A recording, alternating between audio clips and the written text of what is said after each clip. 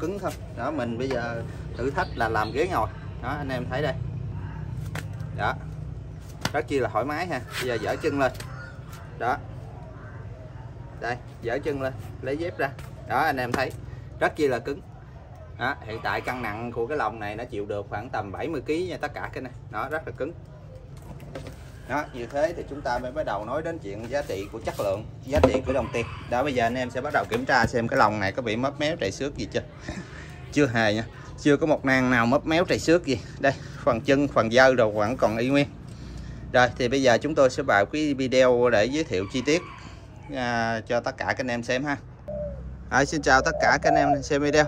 Hiện tại là chúng tôi đang giới thiệu cho anh em cái mẫu lồng tre mây mẫu số 02 là mẫu lồng tre mây này nó có hai size size bên đây là size nhỏ size bên đây là size lớn dành cho mồi dài đuôi ha tất cả các anh em ha. Mồi dài đuôi đây là mồi dài đuôi. Thì à, vô lồng này rất chi là rộng rãi và thoải mái ha tất cả các anh em ha. Còn cái nhỏ bên này thì chỉ thích hợp cho anh em nuôi mồi cắt đuôi. Đó anh em thấy là mồi à, dài đuôi vào đây xây trở rất chi là thoải mái. Cái size bên này là size 32 còn size bên này là size 38 và chúng tôi xin nói chất liệu của nó luôn chất liệu làm bằng tre mây. Đó, cầu rồng này đây nè bộ chân này bộ cửa này bộ này bộ rồng ở trong được làm bằng gỗ gõ đỏ. Hai cái lồng thì chất liệu như nhau anh em phân tích một cái thì cái kia nó tương tự như vậy.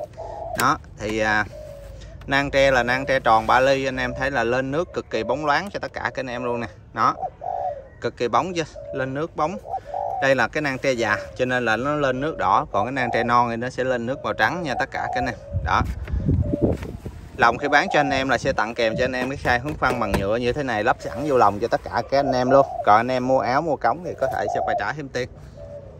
Đó đây.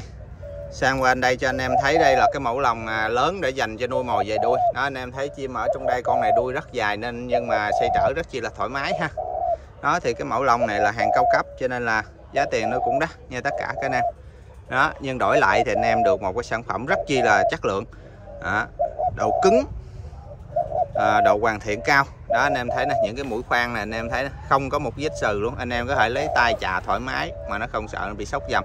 Anh em thấy là toàn bộ một cái lồng là không có một cái lỗ khoan nào mà nó sừ lên hết anh em thấy chứ nếu mà thợ mà họ làm biến thì khi cái vết khoan nó sẽ có dấu sừ đây anh em sẽ thấy đây. Đây là cái phần nối giữa hai cái dành mây hai cái dành mây nối lại vòng tròn này anh em thấy.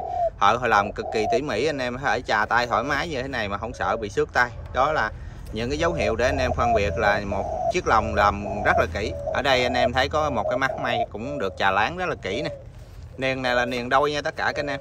Niền đôi ở vị trí này có tác dụng là làm cho cái lồng cực kỳ cứng chắc, không bị siêu vẹo qua lại. Nhờ những cái niền đôi như thế mà cái lồng hồi nãy nó có thể chịu được một cân nặng rất là lớn. Với hai nữa là cái nang te. Nang te gai nó có tính chất đàn hồi cũng như là độ cứng cực kỳ cao. So với những cái nang khác thì độ cứng của nang tre là vô địch. Đó, đó là lý do tại sao những ông bà xưa chúng ta thường làm cây tre để làm cái à, cái chiếc gánh. Đó thì à, ngoài ra thì chúng tôi cũng bán những cái phụ kiện kèm theo. Ví dụ như anh em muốn mua thêm áo thì à, đây là áo áo trùm. Áo trùm có dây kéo nha tất cả các anh em. Áo trùm có dây kéo đây nó có cái lỗ ở trên cái đỉnh này nên ta chỉ tọt vô cái gù nữa là xong. Đây đây là bộ cống cước. Bộ cống cước thì à, 40 ngàn một một cặp như thế này. Còn đây là cống bằng à, cây dừa. Cống bằng à, trái dừa khô nha tất cả trên này. Cứng chắc rất là bóng. Ngoài ra thì đợt này chúng tôi cũng có nhập về cái mẹt tre. Nhập về cái mẹt tre à, năng tre. Tre này là cặt tre nha tất cả cái này. Đây anh em thấy mặt này là mặt à, trong còn mặt ngoài là cái cặt tre này. Làm rất là chắc chắn mới làm luôn. Đó thì anh em muốn mua thêm cái mặt à, hứng phân này thì à, cũng có thể mua luôn. Bởi vì lúc trước nhiều anh em muốn một cái mặt tre để gắn vô cái lồng cho nó đẹp thì lần này chúng tôi cũng có bán luôn cho tất cả các anh em để anh em có một sự lựa chọn tuyệt vời nhất có thể. Đó anh em thấy.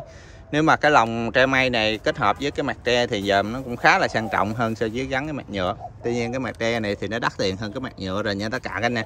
Nói thì anh em muốn mua thêm mặt tre thì có thể liên hệ đến với số mặt tre làm hoàn toàn bằng cặt tre nha, tất cả cái này. Đây cặt tre nghĩa là vỏ tre nè. Đó, anh em thấy. Vỏ tre nè. Còn phần này là phần dưới nè. Tất nhiên phần này bằng cặt thì phần này nó phải là phần thịt chứ anh đúng không? Rồi, xin chào, hẹn gặp lại tất cả các anh em. Giao hàng toàn quốc bằng đường bưu điện. Anh em mua hàng kiểm tra hàng thoải mái trước khi trả tiền.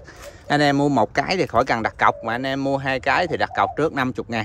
Anh em mua một cái thì anh em tự trả tiền ship, còn anh em mua hai cái thì được hỗ trợ 50 phần trăm tiền ship còn anh em nào mua hàng mà chuyển khoản trước tiền thì anh em được bao ship ha. Chuyển khoản trước thì được bao ship. Mỗi cái lồng này tiền ship nó rơi vô khoảng tầm 40 ngàn như tất cả cái này